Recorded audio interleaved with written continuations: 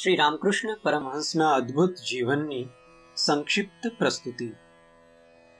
આપ સૌ સ્વામી વિવેકાનંદ વિશે તો પરિચિત છો, પરંતુ એમનું જેમણે ઘડતર કર્યું, એવા મહાન શિલ્પી જગતગુરુની ઓળખાણ વિના સ્વામી વિવેકાનંદનો પરિચય શું અધૂરો નહીં રહે?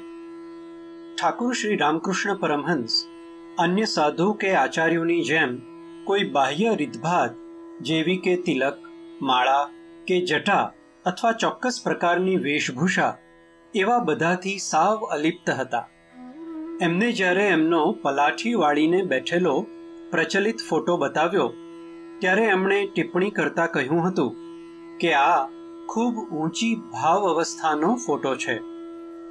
મિત્રો, આ સંક્ષિપ્ત જીવન વિશેની માહિતી શ્રી રામકૃષ્ણ મિશનના પુસ્તકોમાંથી એકઠી કરી છે. પુસ્તકો જેવા કે શ્રી રામકૃષ્ણ પરમહંસનું સંક્ષિપ્ત જીવન, એમના વિસ્તૃત જીવનનું પુસ્તક અને શ્રી મહેન્દ્રનાથ ગુપ્ત દ્વારા રચિત અત્યંત મનોહર પુસ્તક શ્રી રામકૃષ્ણ કથામૃત તેમજ શ્રી રામકૃષ્ણ પરમહંસના સોળ સંન્યાસી શિષ્યોના સંક્ષિપ્ત જીવન ચરિત્રમાંથી માહિતી પ્રાપ્ત કરી છે. અહીં એ જાણવું પણ જરૂરી છે કે આ બધા પુસ્તકોમાં રહેલી માહિતીની ચોક્કસતાનો આધાર શું છે? આ પુસ્તકોની માહિતી એટલા માટે ભરોસાપાત્ર છે, કારણ કે ઠાકુર શ્રી રામકૃષ્ણ પરમહંસ દ્વારા પોતાના શિષ્યો આગળ એમણે પોતે પોતાના જીવનની ઘટનાઓ અને પ્રસંગો, એમની સાધનાઓ અને અનુભવો તથા એમના ઉપદેશો કહ્યા છે, જે એમના શિષ્યોએ નોંધી લીધા હતા અને પાછળથી પુસ્તકાકારે પ્રકાશિત કર્યા છે. જેમાં ઠાકુર શ્રી રામકૃષ્ણ પરમહંસના હૃદય સ્પર્શી ઉપદેશો અને ઘરગથ્થુ કહી શકાય તેવા દ્રષ્ટાંતો દ્વારા ધર્મ, શ્રદ્ધા, ભક્તિ, જ્ઞાન, કર્મ, આધ્યાત્મિકતા, સર્વ ધર્મ સમન્વય, શિવ ભાવે જીવ સેવાના આદર્શોને એકદમ સહજ સરળતાથી સૌને ગળે ઉતરી જાય તે રીતે આ ખૂબ જ પ્રચલિત પુસ્તક શ્રી રામકૃષ્ણ કથામૃતમાં રજૂ કર્યા છે. સંપૂર્ણ વિડીયોની રજૂઆત ત્રણ ભાગમાં છે.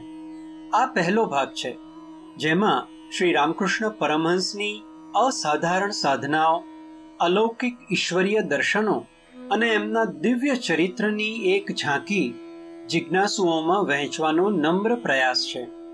એમના વિશે અધિક જાણકારી અને એમના પુસ્તકોની ઓનલાઈન ડિલિવરી માટે બેલુર મઠની વેબસાઇટ વિઝિટ કરવા વિનંતી છે. યદા યદા હિ ધર્મસ્ય ગ્લાનિર્ભવતિ ભારત અભ્યુત્થાનમ અધર્મસ્ય તદાત્માનમ સૃજામ્યહમ પરિત્રાણાય સાધૂનામ વિનાશાય ચ દુષ્કૃતામ ધર્મ સંસ્થાપનાર્થાય સંભવામી યુગે યુગે. હે અર્જુન જ્યારે જ્યારે ધર્મની પડતી અને અધર્મની વૃદ્ધિ થાય છે ત્યારે ત્યારે હું માનવ જાતિના કલ્યાણ માટે અવતાર લઉં છું. જ્યારે જ્યારે આપણા આ જગતમાં વિકાસને કારણે તથા ઊભી થતી નવી પરિસ્થિતિને કારણે નવી સામાજિક ગોઠવણની જરૂર ઊભી થાય છે, ત્યારે ત્યારે શક્તિનું એક મોજું આવે છે. હું તમારી સમક્ષ એક એવા અવતારના જીવનનું વર્ણન કરવા જઈ રહ્યો છું, જેમણે દેશમાં એક આવું મોજું ગતિમાન કર્યું અને જે સમગ્ર વિશ્વમાં ફેલાઈ ગયું. શ્રી રામકૃષ્ણ પરમહંસના જીવનનો અભ્યાસ કરતા એમનું એક મહત્વનું અવતાર કાર્ય જાણે કે બધા ધર્મો અને સંપ્રદાયોની મતાંધતા દૂર કરવા અને તેમનો બધાનો સમન્વય સાધીને જેટલા મત છે તેટલા ઈશ્વર સુધી પહોંચવાના પથ છે એવું સાબિત કરવાનો હોય એવું લાગે છે. તેઓ બંગાળીમાં કહેતા, જતો મત, તતો પથ. શ્રી રામકૃષ્ણ પરમહંસનું પ્રિય ઉદાહરણ હતું કે એક તળાવને ચાર ઘાટ હોય. હિન્દુઓ પાણી પીએ છે એક ઘાટે, તેઓ કહે છે જળ. મુસલમાનો બીજા એક ઘાટે પાણી પીએ છે, તેઓ કહે છે પાણી અંગ્રેજો ત્રીજા એક ઘાટે પાણી પીએ છે ને કહે છે વોટર. તેમ વળી બીજા લોકો એક ઘાટે પાણી પીએ છે ને કહે છે એક્વા. એક ઈશ્વર તેના અનેક નામ. શ્રી રામકૃષ્ણ પરમહંસનો જન્મ બંગાળના હુગલી જિલ્લામાં કામારપુકુર ગામમાં પિતા ખુદીરામ ચટ્ટોપાધ્યાય અને માતા ચંદ્રામણી દેવીને ત્યાં થયો. અત્યંત પ્રમાણિક, સત્યવચની અને સેવાભાવી એવા આ દંપતીના ઘરે વિક્રમ સંવત અઢારસો બાણુંની ફાગણ સુદ બીજ એટલે કે ઈસવીસન અઢારસો છત્રીસના ફેબ્રુઆરીની અઢારમી તારીખ બુધવારના રોજ જન્મ થયો. શ્રી રામકૃષ્ણ પરમહંસના પિતાજીનું મૂળ ગામ દેરે ગામ હતું. ત્યાં એક જમીનદારના ત્રાસને કારણે એમણે એ ગામ છોડવું પડેલું. શ્રી રામકૃષ્ણ પરમહંસનું રાશિ નામ શંભુચંદ્ર અને માતા એમને પ્રેમથી ગદાધર અથવા તો ગદાઈ કહીને બોલાવતા. બાળક ગદાધરની મુખાકૃતિ ખૂબ જ આકર્ષક અને અત્યંત મનોહર હતી. એમનામાં અસાધારણ બુદ્ધિ અને પ્રતિભા બાળપણથી જ વ્યક્ત થયા હતા. કામારકુપુર ગામના મૂર્તિ બનાવતા કારીગરોની એ કળા એમને ખૂબ ગમતી અને એમની અંદર પણ અદ્ભુત સર્જન શક્તિ ધીરે ધીરે વિકસિત થતી ગઈ. ઘરની દેવ પૂજામાં એમને ખૂબ જ આકર્ષણ રહેતું. અને સુમધુર કંઠથી ગદાધર ભજનો અને શ્લોકો ગાતા. જગન્નાથપુરી જતા આવતા સાધુઓ કામારપુકુર ગામના પાદરમાં રોકાતા. ત્યાં જઈને ગદાઈને સાધુઓની સેવા અને સત્સંગ કરવાનું ખૂબ જ ગમતું. તથા પુરાણીઓની કથા કીર્તન વગેરે સાંભળીને બાળપણમાં જ ગદાધરને રામાયણ, પ્રહલાદ ચરિત્ર આખ્યાન, મહાભારત, ભાગવત વગેરેની આબેહૂબ રજૂઆત કરવામાં ખૂબ જ આનંદ મળતો. એમનું ચિત્ત અત્યંત એકાગ્ર અને પવિત્ર હતું અને પરિણામે ખૂબ જ સાત્વિક એવા એ મનને છ થી સાત વર્ષની ઉંમરે પ્રથમ ભાવ સમાધિનો અનુભવ થયો. એ ત્યારે થયો જ્યારે એમણે જટાજૂટ શંકરના મસ્તક જેવા કાળા ડિબાંગ વાદળો જોયા અને વચ્ચે શ્વેત બગલાઓની એક લાંબી હાર માળાના આકારમાં ગોઠવાઈને આકાશમાં ઉડતી ઉડતી આવી અને પેલા વાદળાના ગળામાં જાણે કે આરોપાઈ ગઈ.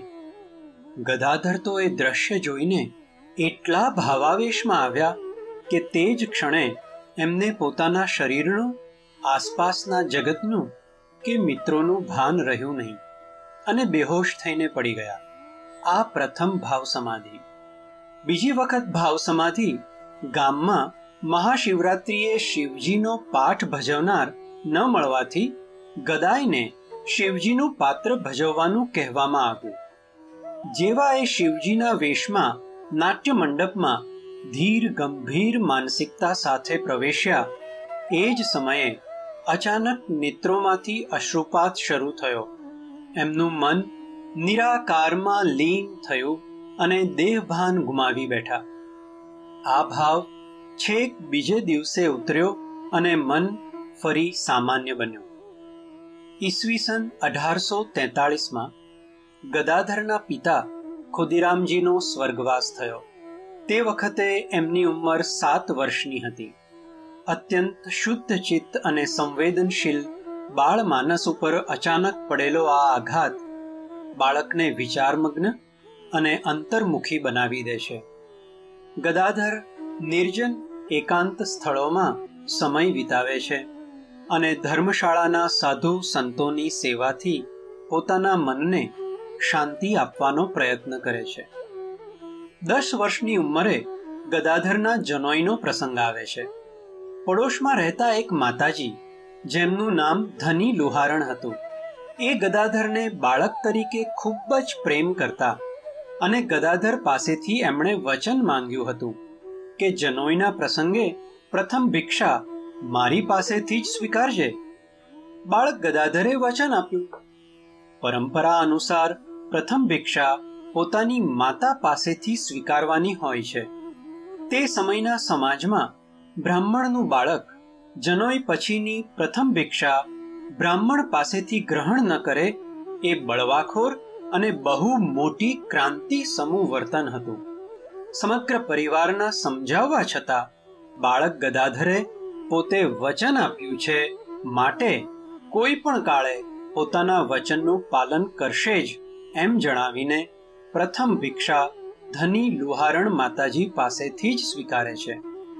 યજ્ઞોપવિતના પ્રસંગનો વિશેષ આનંદ ગદાધરને એટલા માટે હતો કે હવે કુળ દેવતા રઘુવીરની, રામેશ્વરના બાણલિંગની, ઘરની પૂજાનો અને દેવોને સ્પર્શ કરવાનો અધિકાર મળ્યો હતો.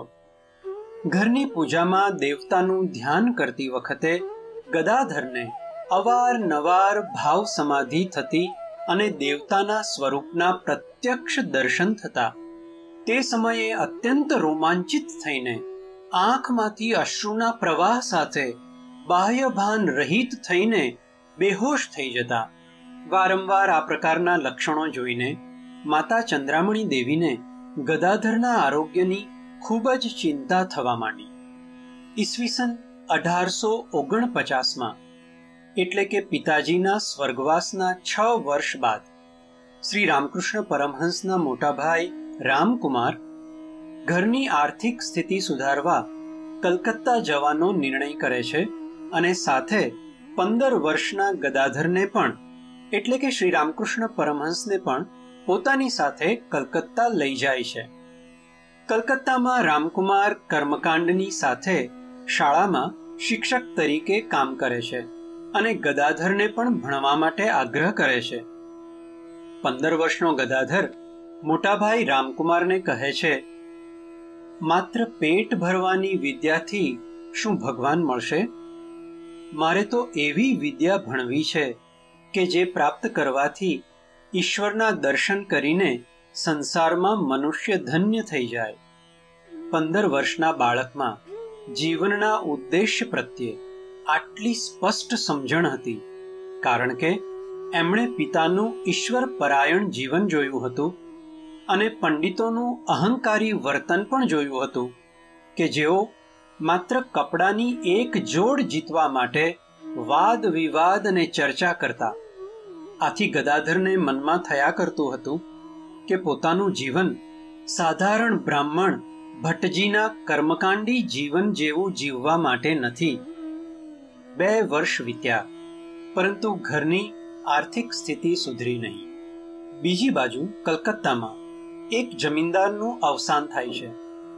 એમના પત્નીનું નામ હતું રાણી રાસમણી એમને સ્વપ્નમાં દેવી માતાની આજ્ઞા મળી કે ભાગીરથી ગંગાના તીરે મારું એક ભવ્ય મંદિરનું નિર્માણ કરો. શ્રી રામકૃષ્ણ પરમહંસ અને એમના મોટા ભાઈ શ્રી રામકુમાર કલકત્તા આવ્યા એના આઠ વર્ષ પહેલા. એટલે કે ઈસવીસન અઢારસો એકતાળીસથી અઢારસો પંચાવન દરમિયાન કલકત્તાથી તેર કિલોમીટર ઉત્તરે દક્ષિણેશ્વરમાં તે સમયના રૂપિયા નવ લાખના ખર્ચે ભવ્ય સંકુલનું નિર્માણ થયું.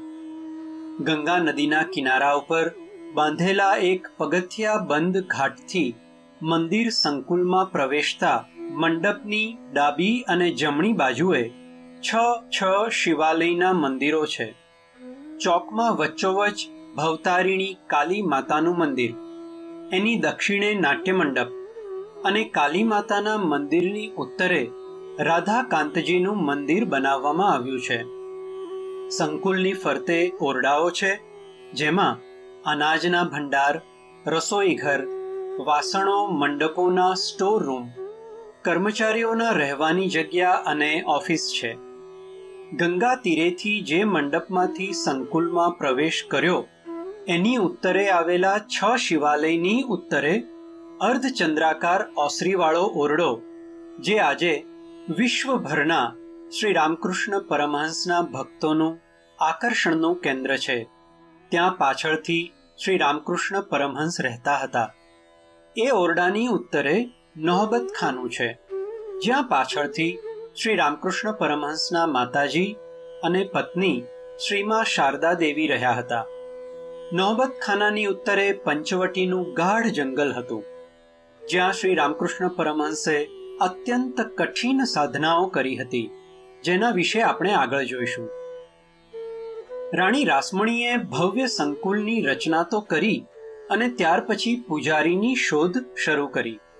પરંતુ એ સમયના રીતિરિવાજ અને એ કાળની પરંપરા પ્રમાણે, કારણ કે રાણી રાસમણી ઉચ્ચ જાતિના ન હતા આથી પૂજારી તરીકે કોઈ બ્રાહ્મણ એમના મંદિરમાં જોડાવા તૈયાર ન હતા. આથી રાણી રાસમણીએ શાસ્ત્ર સંમત ઉપાય કર્યો અને એ મંદિર બ્રાહ્મણને દાનમાં આપીને રામકુમારજીને પૂજારી તરીકે જોડાવા મનાવી લીધા. આમ રામકુમારજી કાલી મંદિરમાં પૂજારી તરીકે જોડાયા. આ પ્રસંગ ઐતિહાસિક દ્રષ્ટિએ અગત્યનો છે, કારણ કે ત્યારથી જ શ્રી રામકૃષ્ણ પણ શ્રી રાધાકાંતજીના મંદિરમાં પૂજારી બન્યા અને કાલી મંદિર સંકુલ સાથે સંકળાયા. અને એની સાથે શ્રી રામકૃષ્ણના જીવનનો નવો અધ્યાય, કષ્ટમય સાધનાનો બાર વર્ષનો તબક્કો શરૂ થાય છે. ખૂબ જ આતુર, વ્યાકુળ સાધક તરીકે અને ભક્તિ તરબોળ હૈયા સાથે તેમજ માતાજીના દર્શન સાક્ષાત્કારની અદમ્ય ઝંખના સાથે એમનું વ્યાકુળ રુદન શરૂ થયું. બાર વર્ષમાંથી છ વર્ષ એમને ઊંઘ પણ આવી શકી નહીં. ભૂખ તરસનું, દિવસ રાતનું ભાન રહ્યું નહીં. તો એવી સ્થિતિમાં કપડાં પહેરવાનું કે પોતાના વ્યવહારનું ધ્યાન રાખવાનું તો કેમ શક્ય બને? મૂર્તિમાં સ્વયં ઈશ્વર બિરાજેલા છે એવી ભાવનાથી તેઓ પૂજા કરતા અને પૂજા કરતી વખતે એટલા તન્મય થઈ જતા કે તેમને બાહ્ય જગતની તેમજ આસપાસ ઉભેલા લોકોની સંપૂર્ણ વિસ્મૃતિ થઈ જતી. અંગન્યાસ અને કરન્યાસ કરતી વખતે મંત્રાક્ષરો ઉજ્જવળ આકારે પોતાના દેહની અંદર પ્રવેશતા એમને દેખાતા. કુંડલીની શક્તિ શરીરના જે ભાગને છોડીને ઉપર મસ્તિષ્ક તરફ ગતિ કરતી તે તે શરીરનો ભાગ તદ્દન જડ બની જતો. શાસ્ત્રવિહિત પૂજા પ્રમાણે જ્યારે રમ અક્ષરનો ઉચ્ચાર કરી ચારે બાજુ જળ છાંટતા, ત્યારે જોઈ શકતા કે પોતાની આજુબાજુ સેંકડો જ્વાળાઓની ઓળંગી ન શકાય એવી દિવાલના એમને પ્રત્યક્ષ દર્શન થતા. પૂજામાં તન્મયતાથી એમનું મુખ પ્રકાશમય અને તેજસ્વી બની જતું. દરમિયાનમાં મોટાભાઈ રામકુમારજીના સ્વર્ગવાસથી એમનું મન ખૂબ વિહવળ બન્યું. એવા વિચારે કે ઈશ્વરના સાક્ષાત્કાર સિવાય દુઃખો કે અનિષ્ટોનો અંત આવી શકે નહીં. એટલે ઈશ્વર દર્શન માટેનો એમનો તલસાટ વધુ તીવ્ર બન્યો. અને સાથે કાલી મંદિરના પૂજારી તરીકેની જવાબદારી પણ એમના ઉપર આવે છે. પરંતુ ચિત્ત સંપૂર્ણપણે ઈશ્વરાભિમુખ બની ગયું છે. બપોરે એકાંતવાસ અને રાત્રે મંદિરની ઉત્તરે આવેલા ઘનઘોર પંચવટી જંગલમાં શ્રી રામકૃષ્ણ પરમહંસ રાત વિતાવે છે. જ્યારે વહેલી સવારે પાછા ફરતા, ત્યારે ઊંડા ધ્યાન અને પુષ્કળ અશ્રુપાતથી એમની આંખો સુજેલી રહેતી. ઘણીવાર રાત્રે યજ્ઞોપવિત જનોઈ કાઢીને ધ્યાનમાં બેસતા પાછળથી એમના શિષ્યોને સમજાવતા એમણે જણાવ્યું કે એ સમયે હું અષ્ટપાશથી મુક્ત થવાની સાધના કરતો હતો. એ અષ્ટપાશ એટલે ઘૃણા, લજ્જા, કુલાભિમાન, સંસ્કારાભિમાન, ભય, માનની એષણા, જ્ઞાતિ અને અહંકાર. પોતાના પવિત્ર અને શુદ્ધ મન ઉપર નવા સંસ્કાર રચવાની એમની ક્ષમતા અદ્ભુત હતી. હું બ્રાહ્મણ છું. એ અભિમાનનો ત્યાગ કરવા માટે હું રજકણની પણ રજ છું. એવો ભાવ અને સંસ્કાર મન ઉપર રચવા માટે અડધી રાત્રિએ તેઓ મંદિરના અન્ય કર્મચારીના ઘરના શૌચાલયની સફાઈ પોતાના લાંબા વાળથી કરતા અને એ સમયે અત્યંત વ્યાકુળતાપૂર્વક માતાજીને પ્રાર્થના કરતા કે, માં, મારા મનમાંથી હું બ્રાહ્મણ છું. એવું અભિમાન, એવો અહંકાર દૂર કરો અને મને દાસના દાસ બનાવી દો. એવી વિશુદ્ધ અને આર્દ્રતા ભરી પ્રાર્થના કરતા સાંભળીને પથ્થર પાષાણ પણ પીગળી જાય. એ કાળ અને સંજોગો મુજબ આ કેટલી ક્રાંતિકારી અને ઉદાર મનો અવસ્થા હતી. હવે માતાજીના સાક્ષાત્કારની એમની ઝંખના અત્યંત તીવ્ર થવા માંડી અને માતાજીના દર્શનના અભાવમાં માતાજીના વિરહની પીડાને કારણે ખૂબ જ આકુળ વ્યાકુળ હૃદયે આક્રંદપૂર્વક રુદન કરતા તેઓ કહેતા, ઓ માં, તું ક્યાં છો? મને દર્શન આપો. રામપ્રસાદે તારો સાક્ષાત્કાર કર્યો. રામપ્રસાદ એટલે જેમ ગુજરાતમાં ભક્ત કવિ નરસિંહ મહેતા થઈ ગયા, એમ બંગાળમાં રામપ્રસાદ ભક્ત કવિ હતા. એટલે રામકૃષ્ણ પરમહંસ કહે છે, રામપ્રસાદે તારો સાક્ષાત્કાર કર્યો. શું હું એવો હીન છું કે તું મારી પાસે આવતી નથી? મને મોજ, મજા, ધન, દોલત, મિત્રો કે ભોગ વિલાસમાંથી કશાની તૃષ્ણા નથી. હે માં, મને તો તારા દર્શનની લગ્ની લાગી છે. શ્રી રામકૃષ્ણ પરમહંસની આંખોમાંથી અસ્ખલિત અશ્રુધારા વહ્યા કરતી અને સંધ્યા સમયે મંદિરમાં આરતીનો ઘંટારવ સાંભળીને ફરીથી જમીન ઉપર પોતાના મુખને ઘસતા કરુણ આક્રંદ કરતા, તેઓ માને કહેતા, માં, આ વધુ એક દિવસ એમ ને એમ ચાલ્યો ગયો, પરંતુ તારા દર્શન થયા નહીં.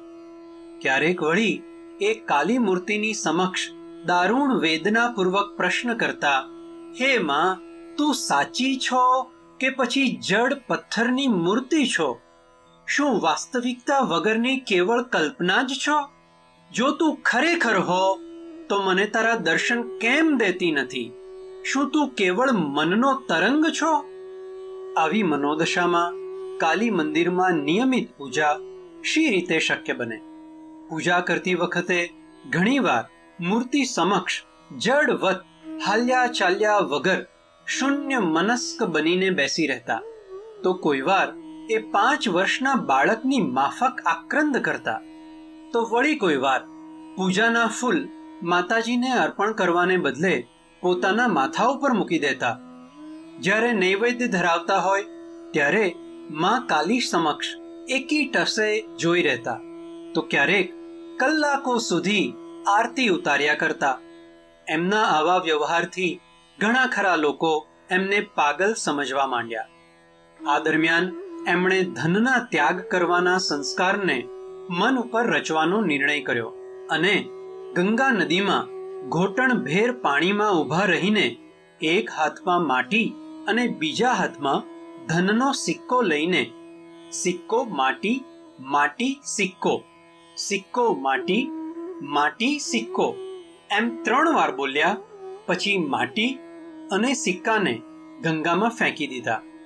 ત્યારબાદ આજીવન તેઓ અજાણતા પણ ધનનો કે ધાતુનો સ્પર્શ કરી શકતા નહીં.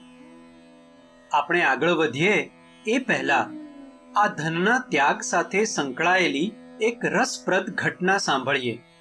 પાછળથી નરેન્દ્રનાથ દત્ત એટલે કે સ્વામી વિવેકાનંદ યુવાવસ્થામાં એમની પાસે આવતા.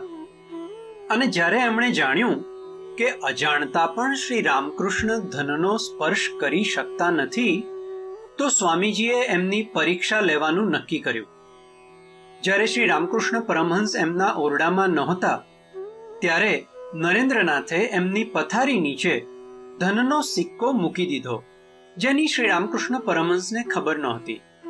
પરંતુ જ્યારે તેઓ એમના ઓરડામાં પાછા ફર્યા અને જેવા એમના પલંગ ઉપર બેસવા જાય છે કે તરત જ વીજળીના ઝટકાનો અનુભવ કરીને ઉછળીને ફરીથી ઊભા થઈ જાય છે અને કહે છે, જરૂર આની નીચે કંઈક છે. જ્યારે એમણે જાણ્યું કે નરેન્દ્રનાથે એમની પરીક્ષા કરી હતી, ત્યારે એ ખૂબ પ્રસન્ન થયા. તેઓ પોતાના શિષ્યોને કહેતા કે કોઈ પણ વ્યક્તિને ગુરુ તરીકે સ્વીકારવા પહેલા એમની ખૂબ કસોટી કરવી જોઈએ. આપણે ફરીથી શ્રી રામકૃષ્ણ પરમહંસની જીવનકથા આગળ વધારીએ. તો એમની મનોદશા એવી હતી કે જ્યાં સુધી કાલી માતાના દર્શન ન થાય, ત્યાં સુધી એમની વિહવળતા અને એમનું આક્રંદ દિવસે ને દિવસે ઘણું વધતું ગયું. કામ કાંચન એ ઈશ્વર દર્શનમાં મુખ્ય વિઘ્ન છે અને પ્રત્યેક સ્ત્રી મારી માતા છે આ વિચાર તેમના મનમાં સજ્જડ થઈ ગયો. આશા, નિરાશા વચ્ચે દિવસો, અઠવાડિયાઓ અને મહિનાઓ સુધી ઝોલા ખાતા રહ્યા અને માના દર્શનની ઉત્કંઠા ખૂબ જ તીવ્ર બનતી ગઈ. પાછળથી એમણે એમના શિષ્યોને જણાવ્યું હતું, એ એમના જ શબ્દોમાં સાંભળીએ.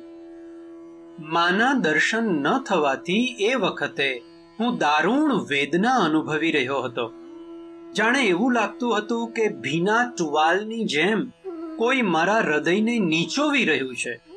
અત્યંત બેચેની મને તંગ કરી રહી હતી અને મને બીક લાગતી હતી કે આ જન્મે તો હું માના દર્શન નહીં કરી શકું. માનો વિયોગ મને અસહ્ય થઈ પડ્યો. જીવવામાં મને રસ ન રહ્યો. એવામાં એકાએક મારી નજર મંદિરમાં રાખેલી તલવાર ઉપર પડી. જીવનનો અંત આણવાનો નિશ્ચય કરીને હું એક પાગલની માફક કૂદ્યો અને તલવાર ઉપાડીને મારા ગળા ઉપર ઝીકી. પરંતુ એકાએક જગદંબા મારી આગળ પ્રગટ થયા અને મારો હાથ પકડી લીધો અને હું બેભાન થઈને જમીન ઉપર પટકાઈ પડ્યો. એ પછી શું બન્યું તેની તેમજ એ દિવસ અને બીજો દિવસ શી રીતે પસાર થયો તેની મને ખબર જ નથી. પરંતુ મારું અંતર એક અપૂર્વ અને વિશુદ્ધ આનંદના પ્રવાહમાં નાહી રહ્યું હતું અને જગદંબાની હાજરીનો મને અનુભવ થઈ રહ્યો હતો. બીજા એક પ્રસંગે એ જ અનુભવનું વર્ણન એમણે કંઈક આ રીતે કર્યું હતું. જ્યારે માં જગદંબાએ મને દર્શન આપ્યા, ત્યારે જુદા જુદા ભાગો સહિત મકાનો, મંદિર અને અન્ય સર્વ વસ્તુઓ વગેરે બધું મારી નજર સામેથી અદૃશ્ય થઈ ગયું. એની કશી નિશાની ન રહી. એને બદલે ચૈતન્યનો અફાટ, અનંત, તેજોમય મહાસાગર મારી નજર પહોંચે ત્યાં સુધી વિસ્તરી રહ્યો. ભયંકર ઘૂઘવાટ કરતા પ્રચંડ તેજોમય મોજાઓ મને ગળી જવા માટે બેફામપણે મારા તરફ આવી રહ્યા હતા. આંખના પલકારામાં એ મોજાઓ મારા ઉપર ધસી આવ્યા અને મને ગળી ગયા. હું હાંફી જઈને એ મોજાઓમાં સપડાઈ ગયો અને બેભાન થઈને નીચે પટકાઈ પડ્યો. ભાનમાં આવ્યો ત્યારે મોટેથી માં માં, એમ બોલી રહ્યો હતો. શ્રી રામકૃષ્ણ પરમહંસે ત્યારબાદ એમનો અનુભવ વ્યક્ત કરતા જણાવ્યું કે માના સાક્ષાત્કારના અનુભવ પછી લોકોની હાજરીનું મને ભાગ્યે જ ભાન રહેતું. એ બધા મને જીવતી વ્યક્તિઓ કરતા ચિત્રો કે પડછાયાઓ રૂપે વિશેષ ભાસતા. એટલે એમની સમક્ષ જગદંબા સાથે મારી લાગણીઓ વ્યક્ત કરતા મને જરાય લજ્જા કે શરમ આવતી નહીં. હું મુક્તપણે માની સાથે વાતચીત કરતો.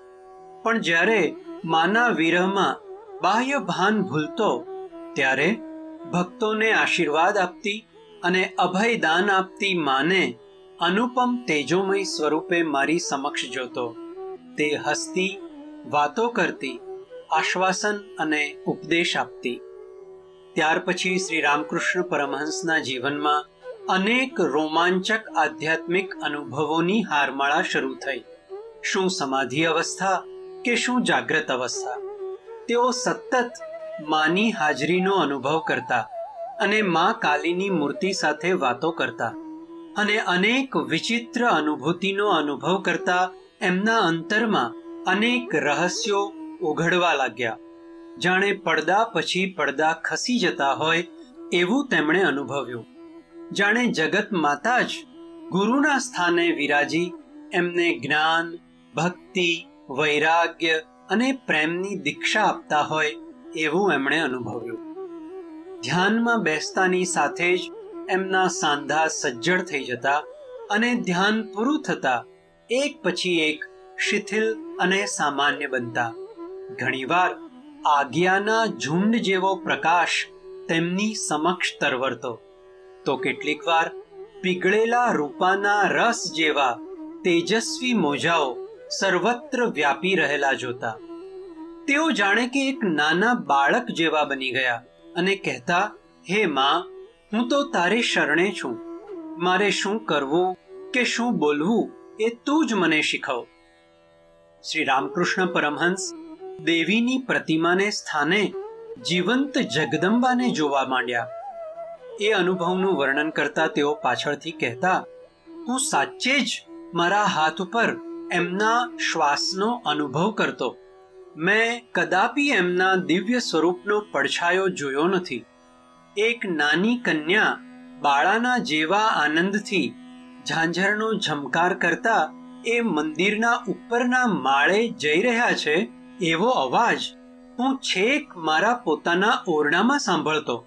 મારી ભૂલ થાય છે કે કેમ તે જોવા માટે હું ઓરડામાંથી બહાર આવતો અને જગદંબાને મંદિરને પહેલે માળે ફરફરતા કેશ સાથે ઉભેલા અને કલકત્તા તરફ અને ગંગા તરફ દ્રષ્ટિપાત કરી રહેલા જોતો.